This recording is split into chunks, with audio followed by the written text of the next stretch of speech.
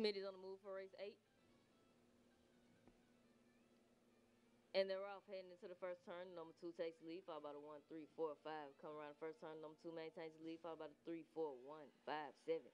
Heading on to the stretch, number two keeps the lead, followed by the three, four, one, five, seven.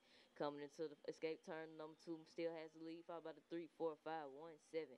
Heading around escape turn, coming on to the back stretch, number two still keeps the lead, followed by the three, four, five, one, seven. On the back stretch, number two has the lead still, followed by the four, three, five, seven, one.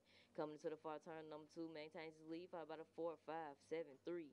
Heading on to the home stretch, number two still in the lead, followed by the four, five, seven, three. Number two heads for the finish line, followed by the four. Number seven comes up. Number seven will be your winner.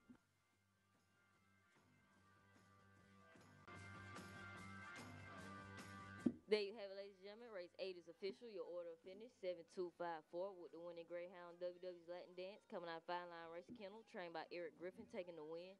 The prices are held on your TV monitor. Coming up next is race 9, the Grade B race held over at 516 mile course. It is 10 minutes to post time.